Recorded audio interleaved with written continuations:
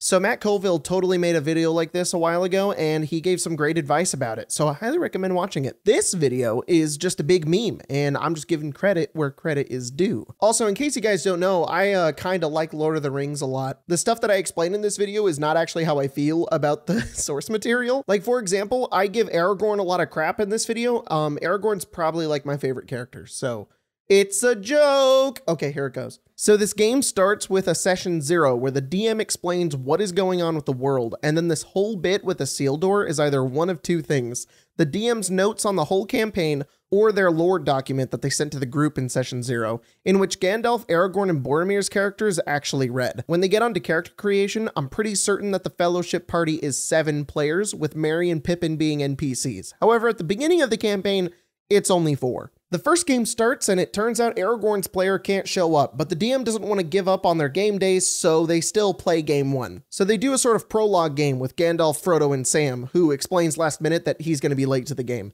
And the DM wants a fourth, so he calls in an old friend from his previous campaign who he didn't want to have play in this game at all because in their last campaign, The Hobbit, he was a real problem character who was way too maxed out in stealth rolled really high on a loot table and got an artifact level item, and couldn't decide what he wanted to do in the story, but then ended up naming the entire campaign after himself. But he calls him up anyways. They have him play a super old version of his character, so it's like he's level one again. But of course, Bilbo makes everything about himself and is all, uh, DM, the ring I have would slow my aging, so I wouldn't be that elderly and makes the whole first game about his birthday party. Gandalf and Bilbo are old friends though, and they have a fun time, but Frodo and Sam's characters are kinda new, and Frodo tries being involved with the story, but is being constantly overshadowed by smoking and really, really experienced role playing. The DM gets kind of tired of this birthday party game and has Bilbo roll wisdom saves on his super powerful ring, which has a corruption aura. He fails and starts going a little crazy. Bilbo's character is not happy about this because he's a bit of a min-maxed character and doesn't really like when negative things happen to him. The DM says, well, this isn't even your campaign. Bilbo's character decides to leave the campaign and the DM takes over his character. He has Bilbo leave the ring and Frodo finally feels like he can be in the game now since Bilbo left. Gandalf really wants to get rid of this problematic ring, but he doesn't have an in-character reason to explain how he knows what it is, so he does some downtime activity researching the power of the ring and discovers what it is. He comes back and tells Frodo everything about it. This is of course Gandalf's player rolling intelligence checks and the DM explaining all of it with Gandalf's player going, I repeat all of this to Frodo. Sam's player finally shows up after being late and desperately wants to be in the campaign now and forces himself in. Gandalf makes up a reason as to how he can be in the party now, and the two set off to Rivendell with Nazgul following up behind them. That's where session one ends, as Gandalf realizes he can't be there next game, and the DM comes up with, well, uh, Gandalf goes and speaks with the wizard leader, which is why he's uh, absent in next game. This in turn actually excites Gandalf's player, and he prepares a bunch of stuff to send to the DM about what he wants to do when he gets there. The next game session, Aragorn is actually able to show up, but because he wasn't there for the first game, he sits in the corner for two hours of the session doing nothing until the DM introduces his character in which Frodo and Sam do a travel montage where they run into random encounters such as wandering elves, Nazgul, Merry, and Pippin, which the DM had be with them in case they actually fight the Nazgul because their CR is really high and adding two more characters would give them some action economy. Meanwhile, Aragorn's player is wondering why he can't just have been introduced in Hobbiton and the DM is like, it wouldn't make sense. So turns out Frodo and Sam both have a minus two to their survival and they cannot find the correct path to Rivendell. Also, as players, they are much more focused on RP rather than combat or exploration. They don't use maps, they don't care which way they go, they barely know how their character sheet works, but they take every chance to RP something about their character. They're just walking right here, and Sam decides to have a whole moment of roleplay to explain that he's never been this far from home before, or how the elves make him sad, or how he can't leave Frodo behind, or how he can't sleep. Eventually, they finally make it to Bree, where Frodo is making tons of deception checks, and the DM is laughing behind the screen because why would the gate guard of Bree be working with the Nazgul? Aragorn's character is finally introduced, and he's like, I'm sitting in the corner watching them with my cloak up. The DM has Pippin go spreading Frodo's name around to show him it doesn't really matter whether he uses his name or not. Frodo freaks out and tries to stealth, rolls a natural one and falls. Then Frodo's player is like, well, uh, actually, could I have just put on the ring? And everyone at the table is like, and the DM is like, well, you can't just go back on your natural one, but we'll work it into your fail. And this happens. Aragorn's player who was like really into the lore the DM wrote for this game because he was the main character in his last campaign, has this whole character arc planned for the game and knows exactly what the ring is and knocks some sense into Frodo by telling him that they need to stealth their way to Rivendell instead of just walking around and role playing every three seconds. And Aragorn's character here isn't even rolling a survival check. His player is just so into the campaign, he just explains what the Nazgul are and takes control as the party leader to destroy the ring. They start going to Rivendell, and Aragorn is maxed out in survival, so they just go day by day encountering nothing. The DM starts throwing little things at them, like mosquitoes, but it isn't completely detrimental. At this point, the DM is getting real nervous because he has been so used to Frodo and Sam's characters being clueless throughout the travel bits, which Aragorn has plowed through, and he has all of these encounters planned that are just getting skipped because Aragorn is so good. They have a little RP bit because Aragorn is extra and wrote a whole song for his character that he sings at the table. Frodo's player, of course, loves this and role plays with him. As they continue traveling, Aragorn gets up to go to the bathroom and the DM has Merry and Pippin just completely ruin their stealth to force an encounter because they kept skipping all of them. He forgets that his stat blocks for Merry and Pippin are CR half, plus Frodo and Sam barely know how to play the game. Frodo makes a ballsy move though and puts on the ring because it's the only thing he knows how to do. Uh, they have true sight and Frodo gets stabbed. Aragorn comes in, and of course he knows they're vulnerable to fire damage, and the Nazgul flee because the DM doesn't want a TPK yet. Meanwhile, Gandalf is having some sick RP over text that the DM is doing at the same time as this game that ultimately ends with him escaping. Frodo, again, really into the roleplay, really plays up his stab wound, even though the DM just told him he's been poisoned and losing 1 HP every day. Aragorn's player asks the DM, Hey, so did you read my backstory? I have a girlfriend character that would be looking for us since I told her that I left and she's in Rivendell and she knows that I'm on my way there. The DM rolls his eyes and has Arwen show up, and Aragorn reminds the DM that she has a cool horse magic, and he goes, okay, fine, then she would just take Frodo since she has a horse, and Aragorn is like, oh yeah, that makes sense, and Sam's character is like, bro, what? I thought we were supposed to do that, but the disgruntled DM wants to make Aragorn feel useful, so Arwen gets Frodo to Rivendell, stops all the Nazgul, and just fast travels everybody to Rivendell since he was already fed up with them skipping all the encounters anyways. The DM ends the session maybe a little upset at Aragorn's overpowered darkness so during the next session, Aragorn's been talking all about this D&D game to his friends and now they want to join. He asks the DM if they can add three more players and the DM is cool with it, but initially a little reluctant. He's sent this huge backstory to the DM about how he's Isildur's heir and he really wants to take the ring to Mordor to become the true king of Gondor. And the DM really wants the game to just be about the party and give Frodo a bit more emphasis because he and Sam are newer players. Aragorn's player understands and is willing to take a backseat so long as they can get to all of his backstory stuff in the campaign. The DM, looking at his campaign notes, which are just the journey to Mordor, doesn't want Aragorn to hate the game and agrees and starts writing a bunch of stuff into the game. Since the DM feels bad for ignoring Frodo's fun, he rewards him with all of Bilbo's magic items since he's out of the campaign now and not going to do anything. However, the DM promptly forgets about Sam, who will be salty about this for the whole game. Also, Gandalf is able to play, so now the table is seven players and the DM is really overwhelmed. He starts the game re explaining the main plot to all the new characters so everyone understands.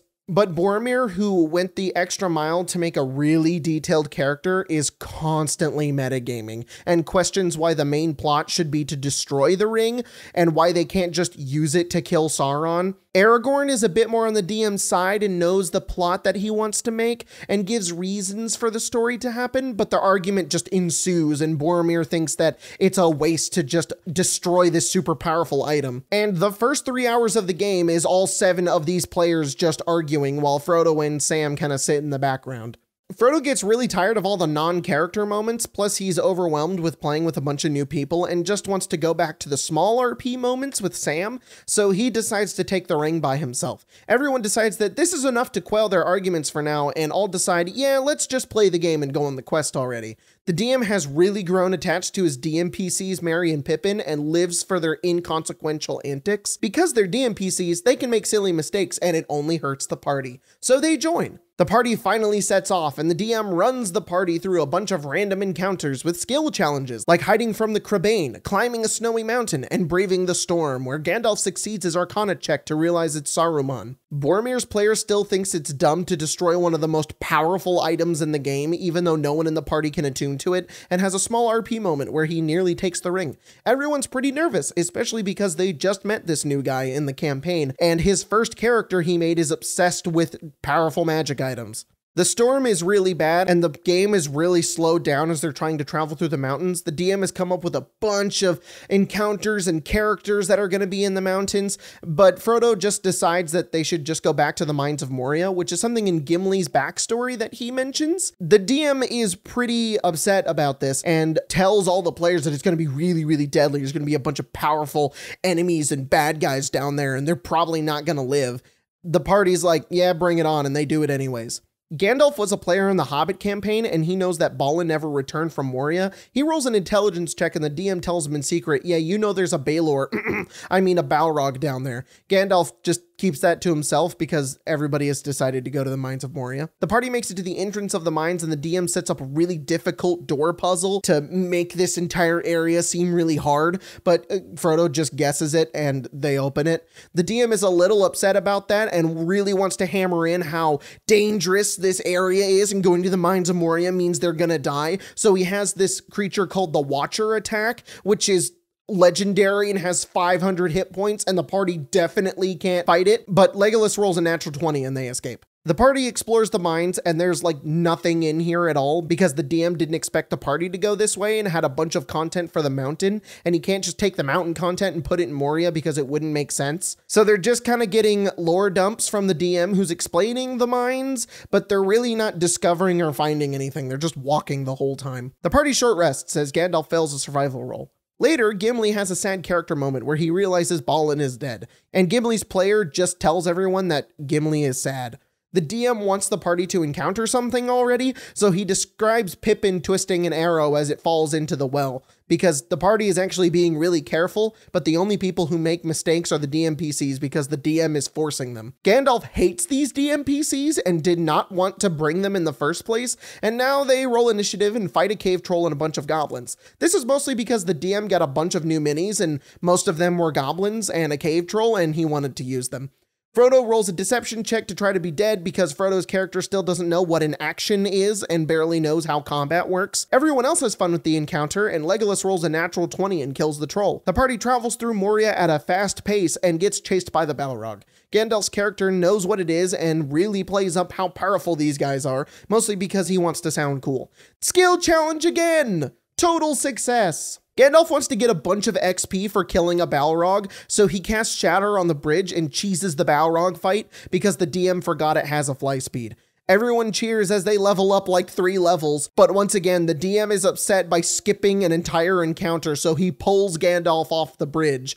Everyone is shocked that the DM just killed Gandalf's character in one hit. But Gandalf's character is repeatedly saying, nah, I'll be fine, don't worry. Everybody's really confused whether or not Gandalf's gonna continue playing because he just fell off a cliff, but Gandalf's character just stays at the table anyways and just watches what happens. The DM is like, yeah, I told you that this would be super powerful and you guys were probably going to die. And look what happened, even though it was the DMPC who caused this problem in the first place. While everyone else is pretty disgruntled, Frodo is being dramatic as hell as he starts role playing out what he does, screams out for Gandalf, and cries alone on a rock. The party then goes to Lothlorien to get a long rest. The DM rewards everybody with magic items for getting so far, but for some reason, Sam keeps getting the short end of the stick and just gets rope. At this point, the party is pretty tired, out of game. They've been playing for a long time and it they're close to calling it. The DM is rambling on about Argonath and Amon Hen and nobody really cares because it doesn't pertain to their characters very much,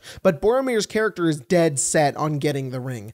It's late, he's had a few white claws, he wants the super powerful magic item. Plus, the ring has the corruption aura effect, and Boromir is the only one failing them, and he's getting charmed by the ring. So when he attacks Frodo to try to take it from him, he keeps saying, It's what my character would do. Uh, sorry, it's just what my character would do. Frodo's player at this point is pretty upset. He didn't want to play with this many people, and they're just trying to take the ring from him. Plus, Gandalf died. Aragorn's player feels bad because he brought all of this upon him and lets Frodo leave the party right as the DM sets up an encounter with a bunch of Uruks.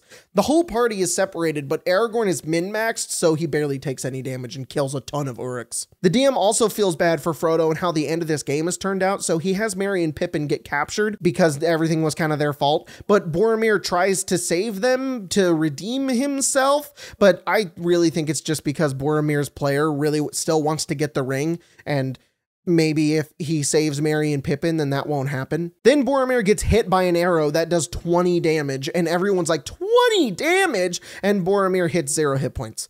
The DM has enough of Boromir's antics and really wants the guy to play a new character since Frodo wants to leave the party, and he's actively trying to stop this. Aragorn 1v1s Lurtz and has a moment with Boromir where he fails all of his death saving throws because no one in the party can heal or has potions of healing. Frodo leaves, Sam joins him, of course, but they finally get a moment alone together and they have this will they won't they roleplay moment where the two start crying in game and at the table. The game ends. The DM decides to split the game into two different games with two different parties and go from there since seven was a lot. Boromir tells everybody that he has made a new character and his name is Gollum.